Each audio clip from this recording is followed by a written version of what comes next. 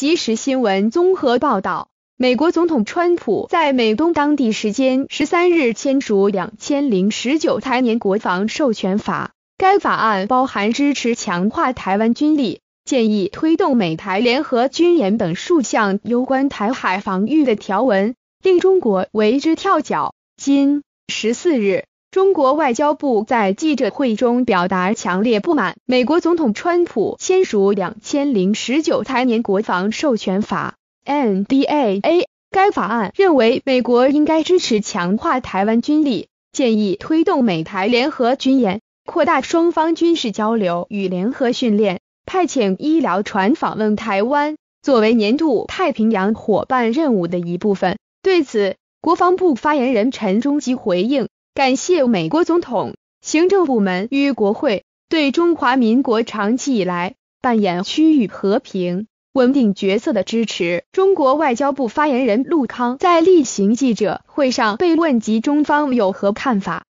陆康表示，中方已多次表明立场，并向美国提出严正交涉。对于美国不顾中国坚决反对，执意通过两千零十九财年国防授权法，表示强烈不满。陆康再三呼吁美国摒弃冷战思维和零和博弈理念，恪守一个中国原则和中美三个联合公报规定，以免给中美关系和两国重要领域合作造成损害。